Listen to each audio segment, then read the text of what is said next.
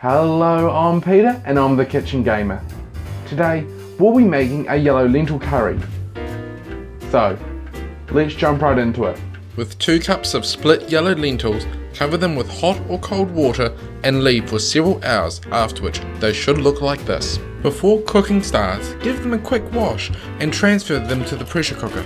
Add half a teaspoon of turmeric powder, 1 8th of a teaspoon of asafoetida and a sprinkling of salt.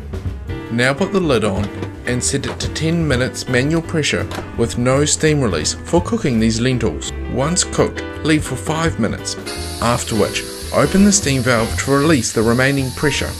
Melt 1 tablespoon of ghee and once melted add 1 teaspoon of mustard and cumin seeds along with 5 curry leaves. Cook these until the mustard seeds start to pop. Now add 4 cloves of minced garlic and 2 dried red chilies chopped to the wok.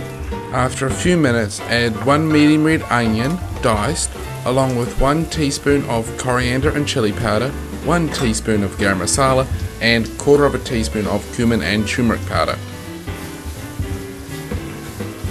Once combined, add 1 medium diced tomato and lightly mix together, after which add this mixture to the cooked lentils and combine. Don't forget to add rice and have a salad on the side as well. I hope that you've enjoyed learning how to make yellow lentil curry.